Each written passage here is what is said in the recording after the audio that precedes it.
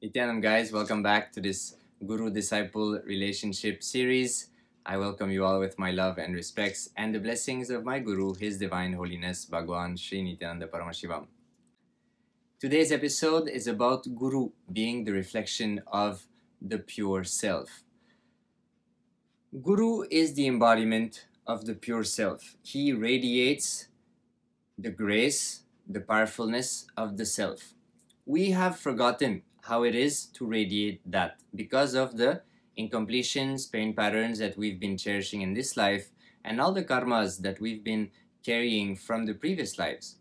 So when you have the opportunity to connect with Swamiji, who is an avatar as per Hinduism, um, you start to remember what it's like to operate from the space of pure self.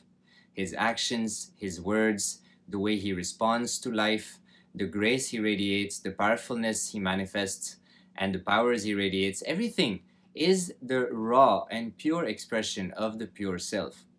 When you constantly align to Swamiji, surrenders to Swamiji, um, remember Swamiji, all that remembrance allows you to align to the self, which is uh, within you, within me, within all of us. It is there.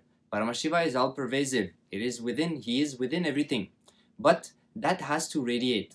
For that to happen, the muscle memory and the biomemory has to be cleansed. It has to be purified to allow the bioenergy, which is Paramashiva, to radiate through, uh, through us.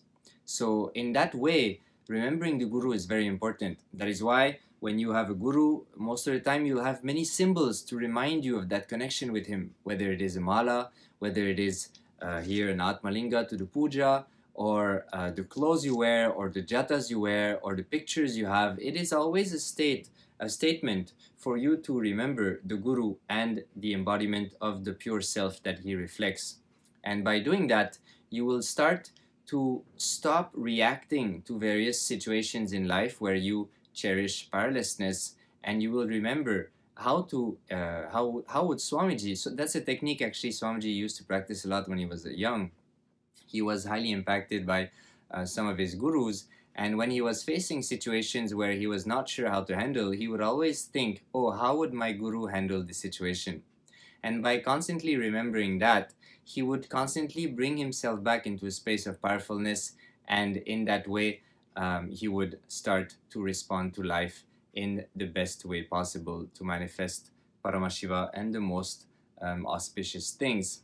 Shiva, the word Shiva itself means causeless auspiciousness. So constantly remember, remembering Guru, uh, who is an embodiment of the pure self, and Shiva is nothing but constantly manifesting causeless auspiciousness in our lives. So that's powerful cognition for today's video. I'll see you guys in the next episode. Nithyanandam.